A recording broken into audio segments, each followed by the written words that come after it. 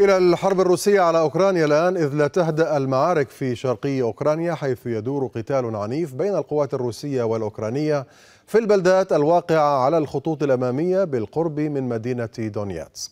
هذا وتواصل روسيا استهداف المزيد من الأسلحة الغربية التي تتلقاها أوكرانيا وفي جديد أهدافها مستودع مخصص لتخزين صواريخ منظومة هايمارس الأمريكية الصنع وذخائر مدفعيات هاوتسر. وفي وقت سجلت انفجارات في قاعدة عسكرية روسية في شبه جزيرة القرم أكدت موسكو أنها ناجمة عن انفجار ذخيرة وليس عن هجوم.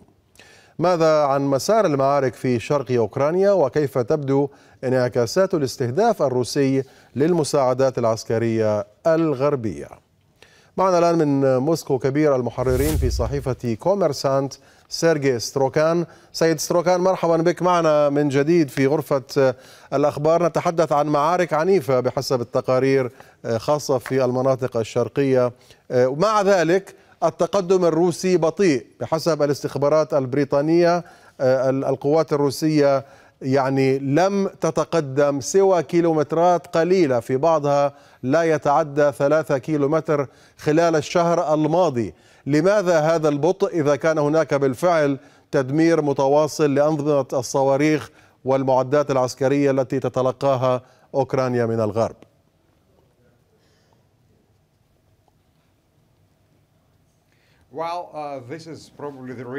هذا ربما الواقع أو حالة التي الوحيدة التي أتوافق فيها مع المعلومات التي تقدمت بها الاستخبارات البريطانية المتعلقة بالمعارك في دونباس. إنها محقة تماما. هذا الهجوم يتقدم بطريقة بطيئة للغاية. وفي الواقع سأكون صريحا معكم وأقول أن هنا بين صفوف في صفوف الخبراء العسكريين. هناك دائما نقاش بشأن ما ماذا يتعين أن يكون النمط نمط التقدم القوات الروسية وهل هو فعلا بطيء بطيء أم لا؟ واقعيا إن القوات الروسية تقوم بتوسيع التحكم والسيطرة في بمدى أو بمستوى كيلومتر واحد باليوم.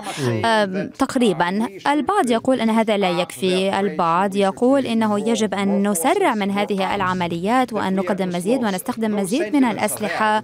وطبعا أنا صريحا أتوافق تقريبا مع هذا الرأي. ولكن دعوني أشرح لماذا هذا البطء النمط الذي يقال أو يوصف على أنه بطيء في هذه العملية العسكرية. أولا يجب أن نفهم أن روسيا لا تسمي ذلك حرب بل هي تسميها عملية عسكرية. وهذا يعني أن روسيا لا تستخدم كل قواتها بكامل قدراتها وكامل إمكانياتها بل وحدات محددة لأن هذا لا تعد حربا بالنسبة لروسيا.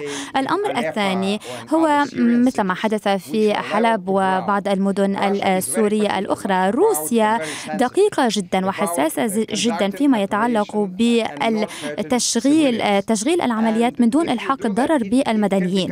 وإذا تم ذلك فهذا مثلا يمكن هنا أن نشبهه بعملية طبية نقوم نقومها أو نجريها ببطء لتفادي أن نقوم بقطع أعضاء لا نحتاج إلى قطعها. نعم طيب. نعم.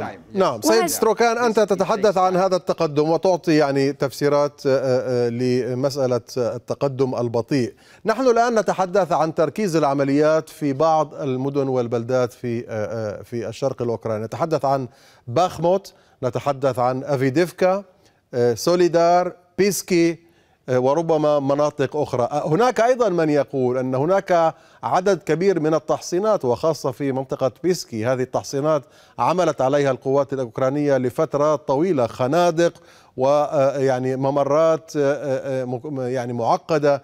هل لهذا العامل أيضا دور في عرقلة تقدم القوات الروسية؟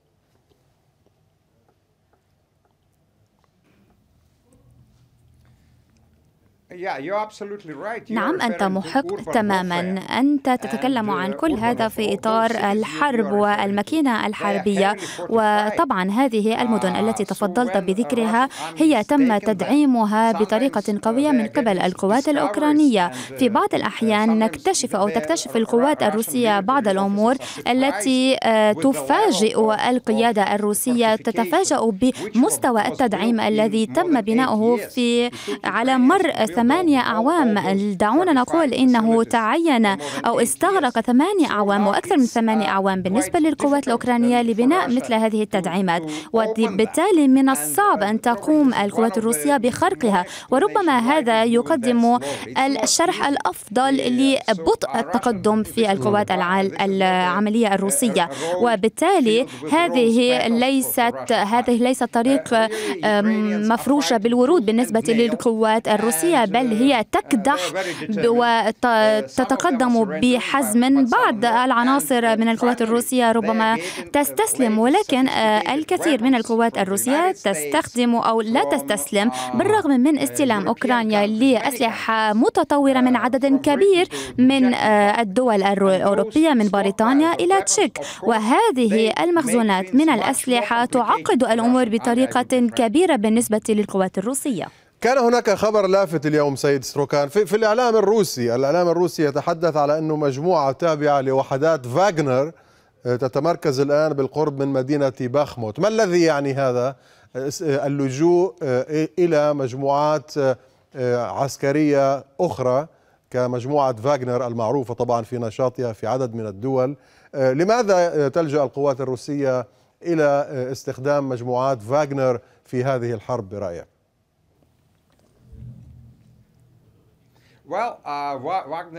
حسنا مجموعة جروب مجموعة عفوا فاغنر هي مجموعات يتم ترسيمها على أنها أو توصيفها على أنها مجموعات تعمل خارج الحكومة.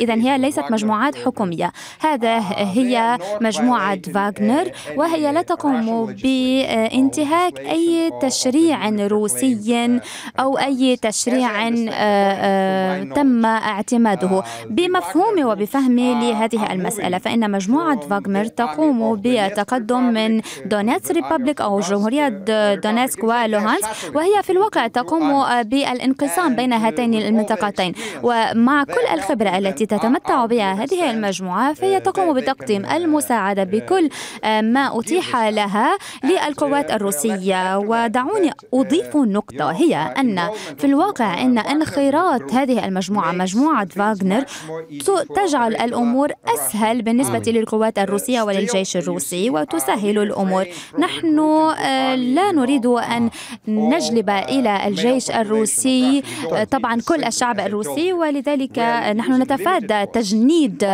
المزيد من القوات الروسية.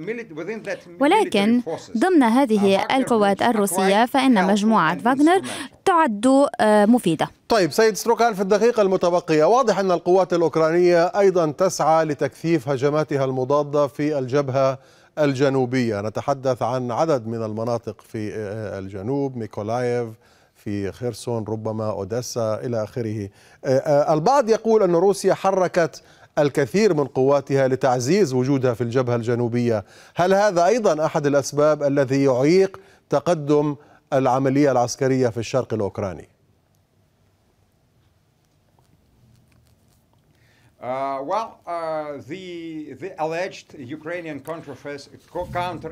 الدفاعات المزعومة في خرسون من قبل القوات الأوكرانية كانت حديث الساعة على مر أسبوعين في الإعلام. ولكن إذا ما ذهبنا إلى الإعلام الأوكراني والمصادر الأوكرانية. في الواقع هي تعلق آمال كبيرة جدا على هذه الهجمات المضادة المزعومة من قبلهم. وأيضا تقول هذه المصادر بأنها تعلق آمال كبيرة على استخدام صواريخ هايمرز ويعتقدون أنها تستطيع أن تغير المعادلة. هل نأخذ ذلك؟ نحن في الواقع نأخذ ذلك على محمل الجد ونحن نعلم أن القوات الأوكرانية قوية للغاية ولا يستهان بقوتها.